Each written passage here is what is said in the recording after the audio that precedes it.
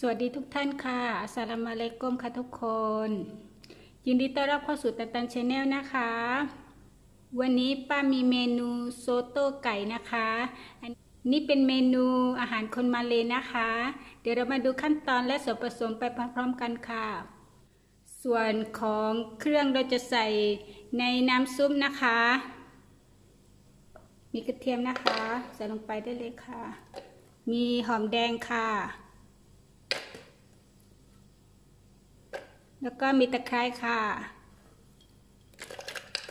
แล้วก็มีขิง มีขิงกับขมิ้นนะคะ เพื่อนๆพยายามหาขมิ้นสดนะคะ จะได้อร่อยนะคะ ถ้าไม่มีก็ขมิ้นผงก็ได้นะคะ แต่ขมิ้นสดจะอร่อยกว่านะคะ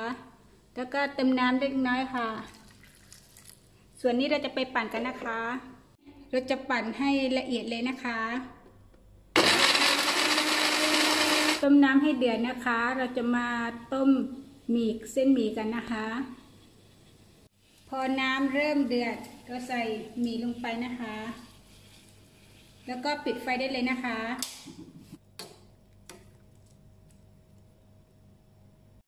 พอร่มนุ่มเราเทน้ำทิ้งนะคะ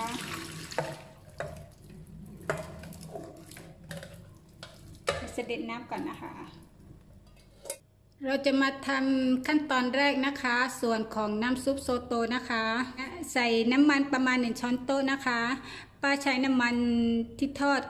หอมเจียวเมื่อกี้นะคะ แล้วก็มีเครื่องเทศนี่ค่ะ เห็นไหมคะ อัตราส่วนเดี๋ยวป้าจะทิ้งใต้คลิปนะคะ สามารถเข้าไปดูได้ค่ะ พอน้ำมันเริ่มร้อนเราใส่เครื่องเทศลงไปค่ะ ไฟอ่อนนะคะ พอเราผัดเครื่องเทศมีกลิ่นหอมระวังข้างๆก่อนนะคะก็ใส่พริกไทยป่นลงไปค่ะ ใส่ยี่หร่าขาวลงไปนะคะ นี่นะคะยี่หร่าหวานนะคะ ยี่หร่าหวาน ยี่หร่าขาวยี่หร่าขาว แล้วก็ส่วนพริกไทยป่นอัตราส่วนเท่ากันนะคะ แล้วก็ผัดเลยค่ะผัดให้หอมค่ะ กลิ่นหอมมากค่ะหอมเครื่องเทศ แล้วก็ส่วนต่อไปเราใส่ที่เราปั่นเมื่อกี้ลงไปนะคะ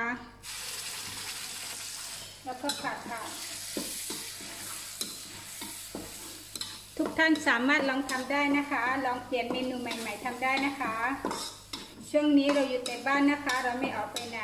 ลองทำลองหาเมนูใหม่ๆมาทำนะคะ ทำเมนูของป้าดูนะคะ ถ้าเพื่อนๆไม่กินเครื่องเทศหรือว่าอะไรยังไงเพื่อนๆก็สามารถดัดแปลงได้นะคะ ถ้าใครไม่ชอบกลิ่นของเครื่องเทศก็สามารถลดปริมาณได้ค่ะ แล้วก็ใส่ไก่ลงไปนะคะหอมมากค่ะ สีสันก็สวยนะคะ สีสีเหลืองของของขมิ้นสดสวยมากค่ะ ส่วนต่อไปเราเติมน้ำลงไปนะคะ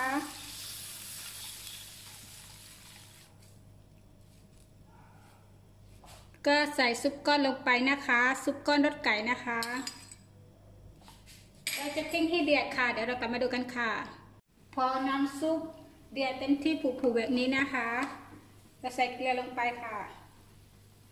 ใส่น้ำตาลทรายลงไปค่ะป้าใช้น้ำตาลทรายแดงนะคะ หรือว่าจะใช้น้ำตาลทรายขาวก็ได้นะคะ พอน้ำซุปของเราผ่านไป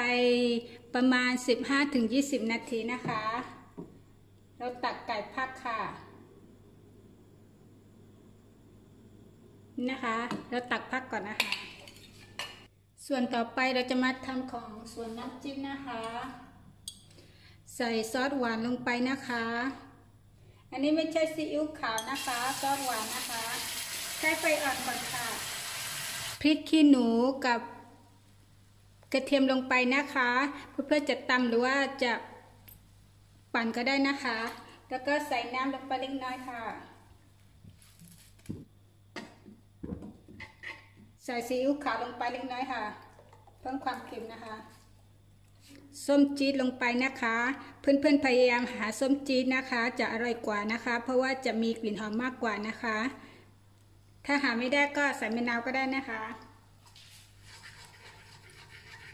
ปล่อยให้เดือดสักพักแล้วก็เราจะปิดไฟเลยนะคะ เดือดเต็มที่แล้วนะคะ เดี๋ยวเราจะปิดไฟก่อนนะคะ ขั้นตอนต่อไปเรามาทอดถั่วลิสงกันนะคะถั่วลิสงนะคะเราทอดจนกว่าจะสุกนะคะ ใช้ไฟแรงในการทอดเลยค่ะ สุกแล้วนะคะ เราตักใส่น้ำมันก่อนค่ะส่วนต่อไปเราจะมาทอดไก่ที่เราต้มเมื่อกี้นะคะ เราจะทอดไม่นานนะคะ เพราะว่าไก่ของเราสุกสุกแล้วค่ะ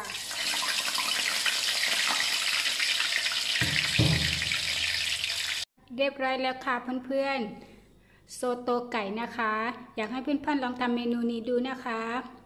แล้วเราจะมีส่วนของน้ำจิ้มด้วยนะคะ พอเราจะทานเราก็จะราดน้ำจิ้มนะคะฝากทุกท่านเป็นกำลังใจให้ช่อง Tantan Channel ด้วยนะคะ ฝากกดไลค์ กดแชร์ กดติดตามด้วยนะคะ ขอให้ทุกท่านมีความสุขในการทำกับข้าวค่ะ